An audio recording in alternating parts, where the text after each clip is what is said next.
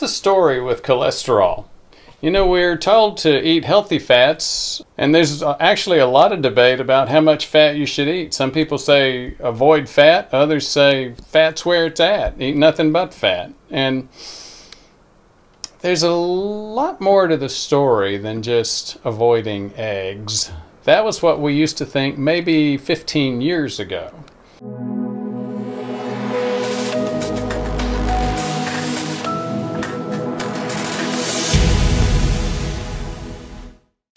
There's also actually a lot more to the story than diet alone.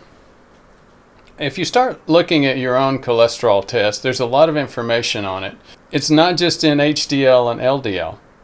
For example, I will look at triglycerides over HDL. That helps me understand whether or not you have problems with insulin resistance, prediabetes, metabolic syndrome, or even diabetes. LDL is something that's been debated a lot recently. Some people are beginning to say higher LDLs, LDL or bad cholesterol levels are even better. Then there's the folks that have really high LDL levels, FH, familial hypercholesterolemia. And how many times have your doctors checked you for LP little a?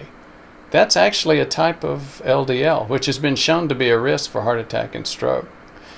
So there's a lot to cholesterol testing that you probably haven't heard of. People used to talk about HDL and LDL, and those are still there. It stands for high density lipoprotein and low density lipoprotein. Low density lipoprotein, LDL, is actually what gets deposited in the artery walls when you do have plaque.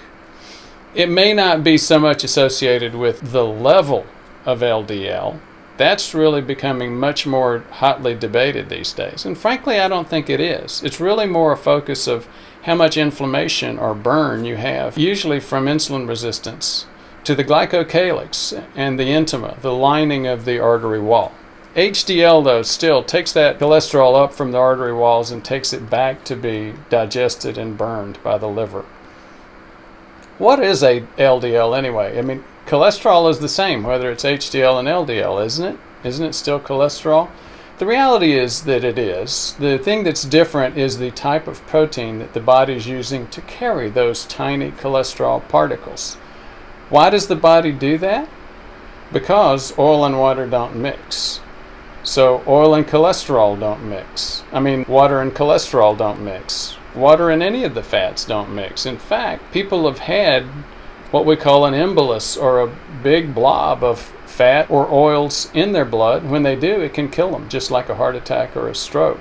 That happens with major trauma like car wrecks and multiple breaks, and it happens with other types of trauma like surgery as well. My old friends uh, Brad Bale and uh, Amy Doneen uh, have used their own little pictures to demonstrate some of the variation that you see with LDL.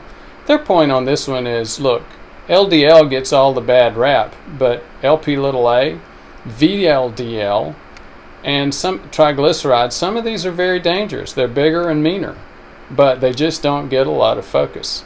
Speaking of VLDL, have you ever heard of remnant cholesterol?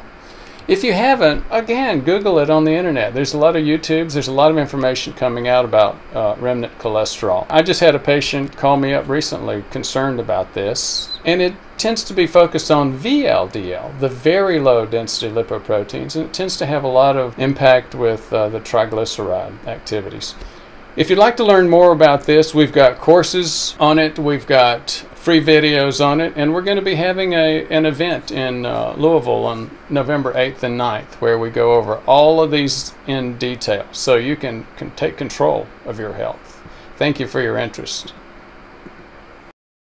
I've had so many patients come to me because they quote their doc, Here, why don't you take this statin and let's see what happens? What?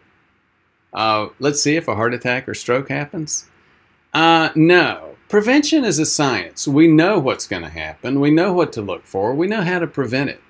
Come see us in Louisville November 8th and 9th. Get your uh, CIMT artery scan, all your labs, see me, and spend two days learning, well, usually what your doctor doesn't know yet about the science of prevention. Look forward to seeing you there. Thanks.